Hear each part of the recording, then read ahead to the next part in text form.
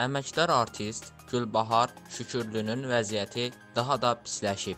Big Az Qafqaz İnfoya istinadən xəbər verir ki, ailə üzvləri bir neçə gün bundan əvvəl başında onkoloji şiş tapılan qarmon ifadəsinin nitqini itirməyə başladığını bildirib.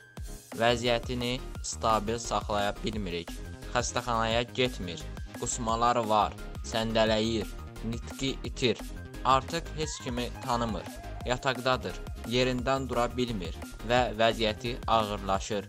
Təzyiq və baş ağrıları artır, kəskinləşir deyə bildirilib.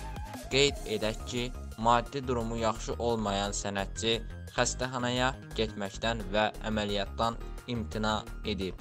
Allah şəfa versin.